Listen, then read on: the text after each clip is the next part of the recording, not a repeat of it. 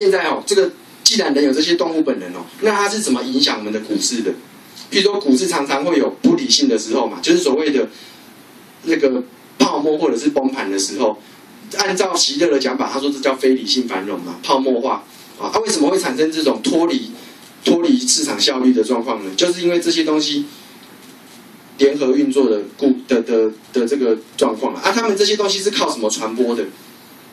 譬如说信心啊、故事啊这些东西是透过什么媒介传播的？我们一般人会觉得说，是不是跟新闻有关系？投资人是不是看了什么重大的新闻哦，利多消息，然后就进场投资，然后这个消息散播开来了，发现不是诶，他去研究说哦，到底股市大涨或大跌的时候，那天有没有什么重要新闻？都没有。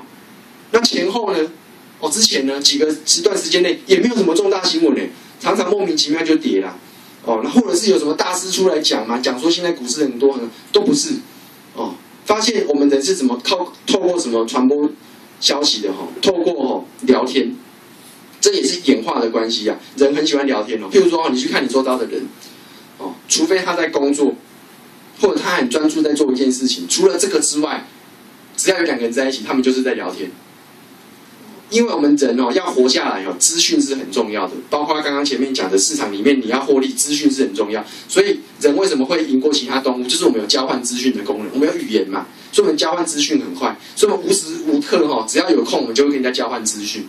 哦，这个是对我们自己演化有利的，对啊，啊，所以我们传播讯息最有利的方法就是聊天，哦，比其他的媒体都还有用。譬如说报纸，你就只看得到文字嘛；电话你只听得到声音，可是你看不到人，看不到动作。哦，啊，这个 email 你也只是看到文字啊，对啊，嗯，所以什么东西都没有传播的像这个这么有用。啊，新闻有它的价值，新闻的价值哦，就是那个起头而已。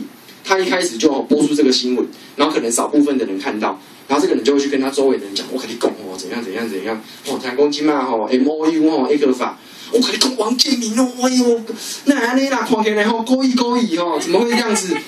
就一直讲一直讲啊，哦，那这个东西就跟传染病的传播一样，传播的非常的快，然后就会造成这种股市的这种故事的流传。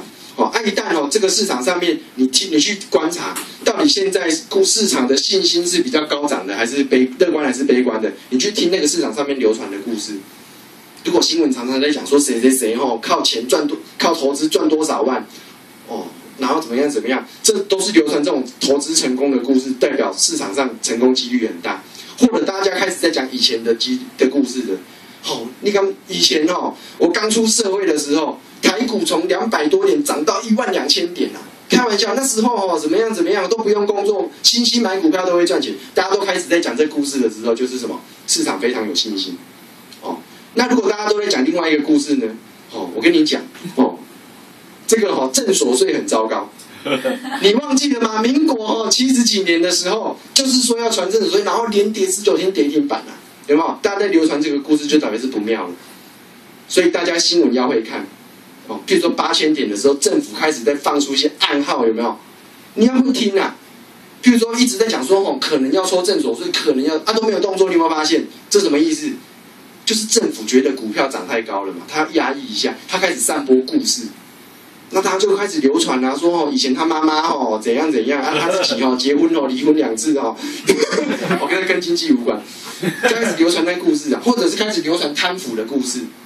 啊，哪间银行哦，又有人怎样怎样的，大家就对银行失去信心嘛？对啊，对整个金融业失去信心啊，这个信心就会哦造成股市的崩跌。信心这个东西又很抽象，我们人自己也分不清楚。信心是一个普遍的，有点类似情绪或心情这样子的。你比较乐观的情绪比较高涨，或是你比较低落，就会影响你的决策哦。所以这个有时候常常在讲说王建民打球赢球了哈，啊股市就会涨，这不是没有道理的。他当然没有直接影响股市，可是他影响什么？影响人民的信心。对啊，哦，所以为什么股市会跌？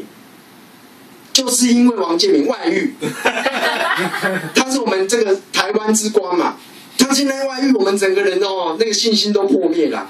你说没有啊？那个新闻出来之前就已经哦跌了，你搞错了，效率市场理论。那个新闻还没有出来的时候哦，就已经有人知道了，就已经先卖掉，哦，已经反映在股价上面了。是某程度来讲是讲得通的，就那个信心会普遍影响的。你要去看市场上面流传的故事哦，所以这个东西很抽象啊。你无法去哦，透过很标准的指标数据来研究。可是哦，你就是知道，如果你有研究的话，比如说差协同理论啊，哎，那个一九一九二九年还是一九八七年哦，崩盘之前哦，那个有一个投资大师，之前陈永林老师有分享过的，叫做巴鲁克哦，他就在那个华尔街那边哈。